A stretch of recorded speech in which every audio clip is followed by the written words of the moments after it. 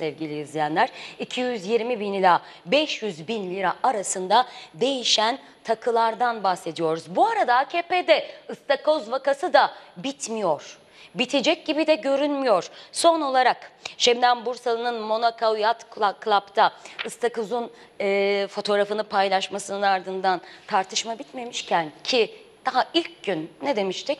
Istakozun çok ötesinde şeyler var. Istakozun pahalılığı, Monaco Yat Kulübü'ne nasıl girdiği, e, orada referans nasıl olunuyor, girmek çok zor, daha çok zenginler girebiliyor. Şebnem Bursalı bu kadar zengin mi derken hem takıların fiyatları ortaya çıktı hem Şebnem Bursalı'nın mutluluğu hem de diğer yandan bir ıstakoz vakası daha geldi. Ankara Mamak Belediye Meclis Üyesi AKP'li Salih Kahraman tatil için gittiği Antalya'da kaldığı lüks otelde ıstakoz yediği yemek masasının fotoğrafını da sosyal medyadan paylaştı. Kocaman bir ıstakoz gibi görünüyor buradaki. Ve bunu balık olarak, balık masası olarak paylaştı sevgili izleyenler. Balık masası dedi, bu fotoğrafı paylaştı.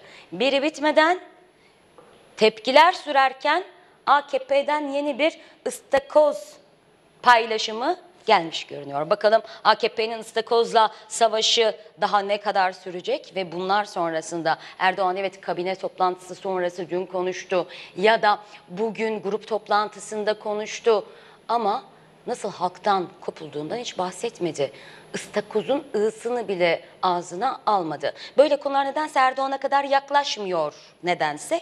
Yine aynı durumla karşı karşıya olduğumuzu söyleyebiliriz.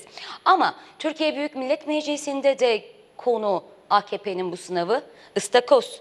Gökhan Günaydın CHP Grup Başkan Vekili tarhana çorbasından maklubeye Oradan ejder meyvesine ve ıstakoza terfi edenler vatandaşa kemer sıkmayı öneriyor.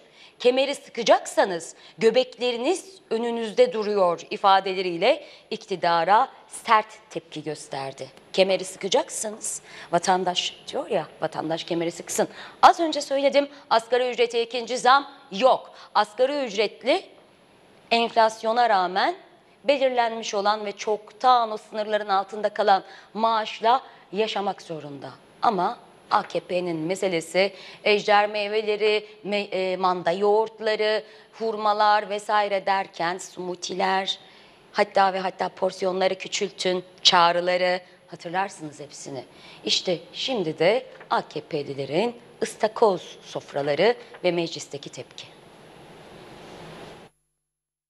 Tarhana çorbasından maklubeye, maklubeden ejder meyvesine, ejder meyvesinden istakoz